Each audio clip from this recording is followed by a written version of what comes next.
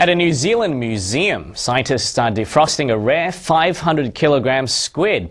They want to study the little known species before preserving it for display. Let's take a look. Weighing in just under half a tonne, this is a huge catch.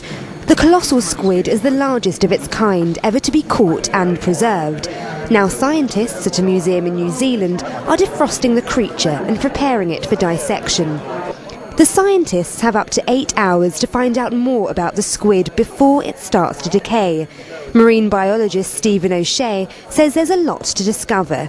In 2003, when we had the first specimen, uh, we didn't have any eyes, and when we put a certain gadget in the water here, we saw two of the most sensational eyes there, and they're both perfect.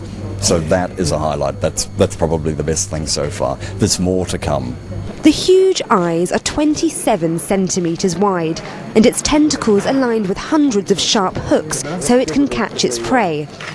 As for tucking into a calamari starter, it seems this squid doesn't taste too bad.